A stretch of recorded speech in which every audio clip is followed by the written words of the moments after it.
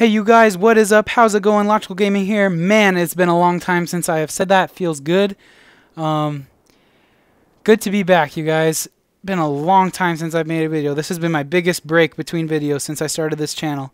And what's super awesome is that the channel's still grown in subscribers. Views have gone down, of course.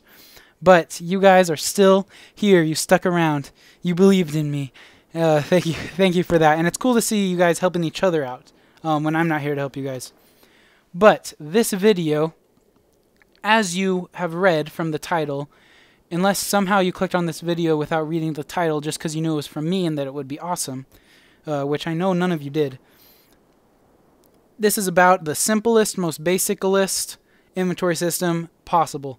And this is just like very basics of inventory.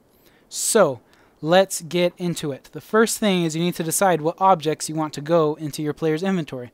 Right now I have a rock and a bush just because they were already here and I didn't want to have to search for something because I'm that lazy. no, I'm just kidding. And we just got disconnected. I don't know how. I'm definitely connected to the internet. Alright. Man, things are getting crazy in this video. So, we have our objects that we want to be inventoriable.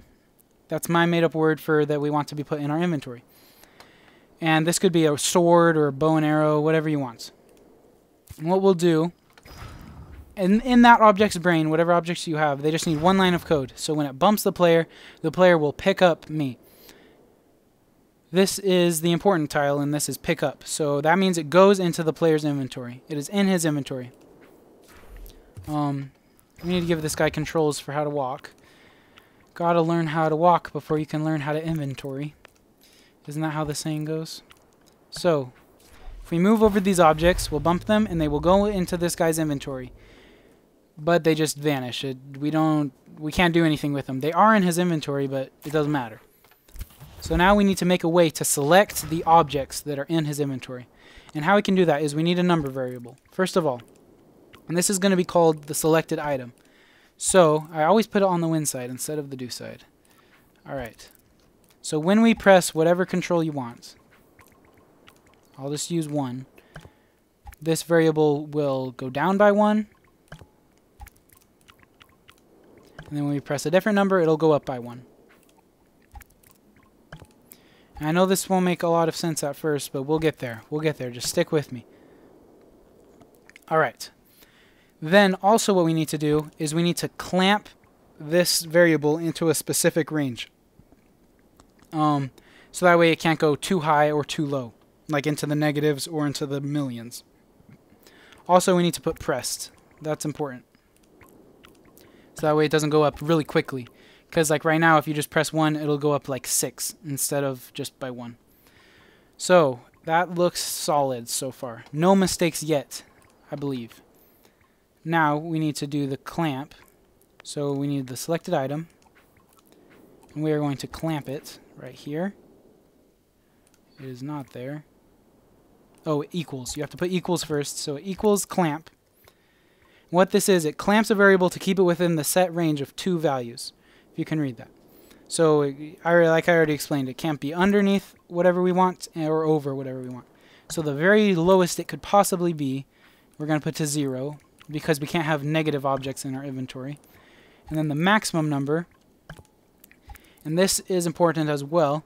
We're going to go into the inventory, and all the inventory is is an object set, just like when you go to values and you make your own object set. Um, so it just keeps track of objects that are in the player's inventory is just the name of the object set. So the inventory, we're going to use a tile called count. And count, it just counts each of the objects that are in the object set, like how many are in it. So if we don't have anything in our inventory, it'll be 0. If we have a 100 things, it'll be a 100. So it'll change depending on how many objects we have. Then you just put the number variable at the end. So there's that line of code that stops this selected item variable from going too high or too low. I'm restating this a lot. So you guys can understand. Sorry if it's too slow. Next, the next step is the most important and the thing I didn't know how to do um, until I finally figured it out recently. And that is how you can how you can select objects in your inventory. So what you do is you need to use uh, for each of. for each object in the inventory, I'll just search it because it's faster. So for each object in the inventory, what this does is it goes through each individual thing in the inventory and runs a line of code for it. So for each object in the inventory, when our number value, when our select, oh, whoops, wrong one. When our selected item equals, this is, it's called current index. It's under timing and logic, current in index. So when that equals the current index, which you can see the arrow pointed to just one uh, apple in the jar. So it's whatever one it's currently uh, running through in the inventory. So once that number equals um, that object in the inventory, we will we can do uh, we can do whatever we want with it. So we'll display it first of all, so you know what you have selected. So we will display it on the top left of the screen. This looks legit. It looks good. Um, so let's let's try this this thus far. So we picked up our rock and our bush. If I use my uh, number two, there's the rock is selected, bush selected, rock, bush. We can switch between the two. Um, if I go to zero, it, it, it doesn't select anything. And right now I'm pressing two as many times as I can. You can hear it. Ready? There's my key pressing. Um, hopefully that wasn't too loud.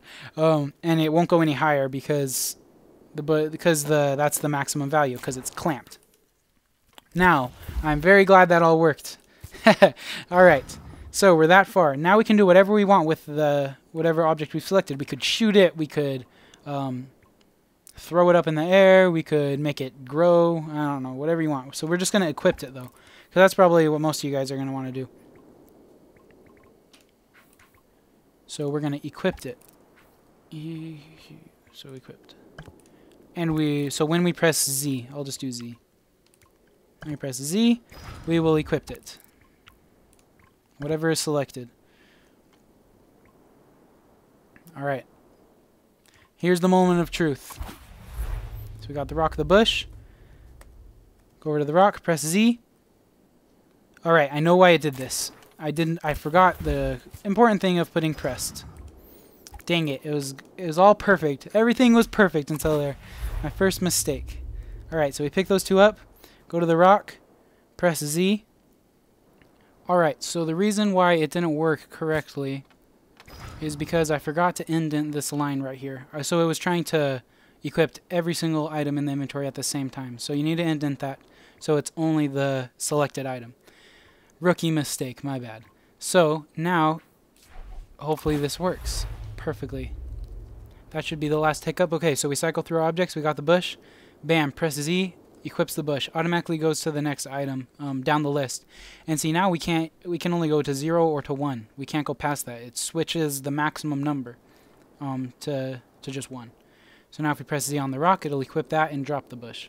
You could set it um, so it will when you press Z, it'll unequip whatever item and put it directly into the inventory, and then equip the selected item.